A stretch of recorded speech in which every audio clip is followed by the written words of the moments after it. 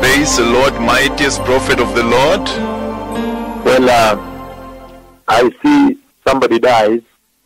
I don't know yet whether it's a woman or it's a man. But the Lord, He takes me and He shows me the grave. He shows me the grave where that person um, has been buried.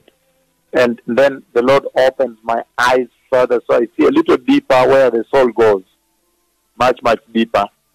And then the father who was speaking next to me on my right hand side, he, he instructs me to bring this person back to life. And then uh, the, he that speaks with you resurrects this person. And a very humongous revival breaks out in the church globally. The Lord is saying that he will be reviving the church in the most historic way. I mentioned uh, the book of Isaiah 26 and how the Lord speaks from Isaiah 26 he talks about the morning dew that will come, the dew for this hour that will revive the church. But I see that the Lord is going to send his servant somewhere to again resurrect a dead person. And this soul had gone so deep, so really, really very deep, down deep, and there is some event involved that, that, that the Lord involves me in to bring the person out which we cannot share here, but what happens that the person is resurrected by the Lord. And so when he sends me to do this kind of thing, a big revival breaks out in the church to prepare the way for the glorious coming of the Messiah. So I know that at this hour, at this hour, the church is essentially um, very busy witnessing the reproving of worship in the United States of America. Um, there is a big focus now. The Lord has focused on bringing to contempt the things of the world that have been embraced in the United States of America in that church. And it has been very clear that the Lord has come up against sexual sin, immorality, the gay, homosexuality, all these things that defile the land including the false prophets that mislead the church.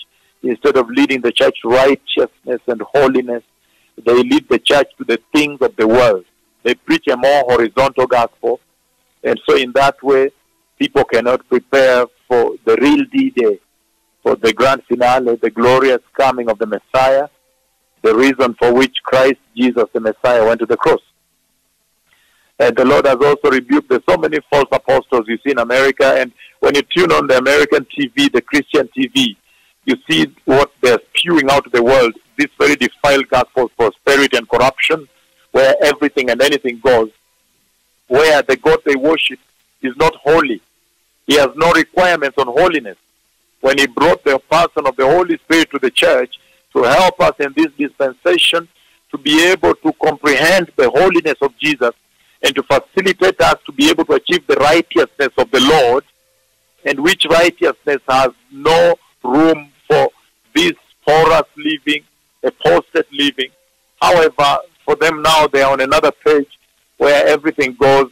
Anyone can say a prophet and falsely prophesy things, false things. Money is big. The worldly dressing, immorality, abortions. People can live together without marriage but they are still in church smoking, drinking. You know, this whole narrative you see of the gospel according to the American standard version of Christianity.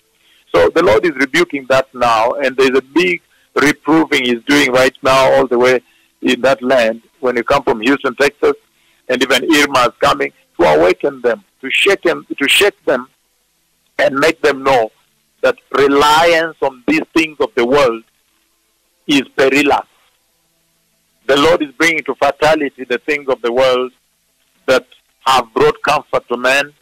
And this goes across the earth. This message does not confine itself to the United States of America alone. This message is still very pertinent and very relevant to Kenya, even where the biggest, most historic revival is throbbing right now. It goes all the way to New Zealand, Australia. It cuts across South Africa all the way down to Chile, Argentina, up towards Costa Rica, United States, Canada, the islands, the Caribbean, all the other islands in Asia, Europe. This is the hour at which all the nations are being awoken to the fact that the Messiah is coming and we need to prepare now. The church needs to prepare now. So I've seen a big, powerful revival that comes to the church. I've seen another resurrection, the resurrection of the dead. So the Lord sends me to a place and He asks me to resurrect this dead person who had been buried. I don't know why the tomb is open. Most likely, probably buried, but the Lord opens my eyes to see. Or maybe not yet buried. But the soul goes so deep, so deep, very, very deep indeed, into a hole actually. And then resurrection takes place and a big revival takes place. So it is my prayer that all the nations of the earth will really, really hunger and long for this revival. Why? Because resurrection is the ultimate purpose for which the Messiah came, that the church may defeat death, that the church may have hope beyond the tombs. And that is the age, that is what separates us, sets us apart totally from all the other religions.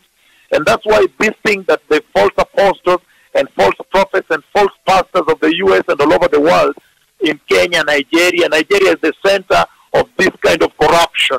Uh, this thing that is being done in the church today is a great, great disservice to the Lord.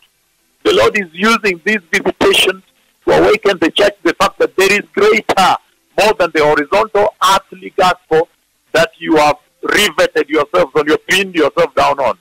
The Lord is saying this is the hour to, to now pursue the glorious kingdom of heaven, the eternal kingdom, the everlasting kingdom of Jehovah, the kingdom that has no end. So I have seen the Messiah coming, beloved people.